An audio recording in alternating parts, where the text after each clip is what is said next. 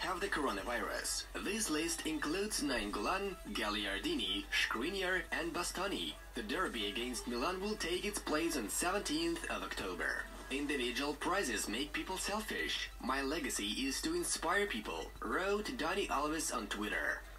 Gareth wants to win the Premier League. With him, Tottenham will be a step closer to the title. Sky Sports quotes the agent of Gareth Bale, Jonathan Barnett.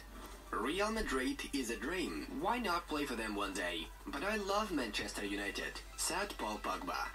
Zlatan tested positive for coronavirus again. He became infected on September 24. Bartomeu is considering an option to resign from Barca before referendum.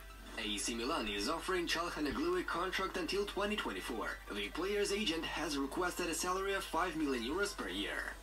Playing next to Messi against Ronaldo will be a special moment. Serginho Dest looks forward to the Juventus versus